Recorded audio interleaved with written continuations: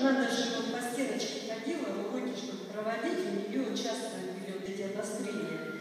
А, Ей муж купил бутылку сока где-то и принес. Когда она узнала, сколько стоит сок, ей дурно. Она долго даже хотела его открывать. А потом все-таки она решилась, и ей буквально с первого глотка стало хорошо. Я не знаю, может это еще и то, что действительно оно стоит, она поняла, что это... Долго это должно быть. Это хоть и не лекарство, но это такая, такая правильная еда, которая действительно все внутри восстанавливает. И теперь, или вот были примеры, что если человек инский, у него медленнее всего, а если человек янский, ну она, конечно, янский человек, у них очень быстрый результат. То есть у нее очень быстро стабилизировалось хотя и раньше гимнастику и все остальное делала.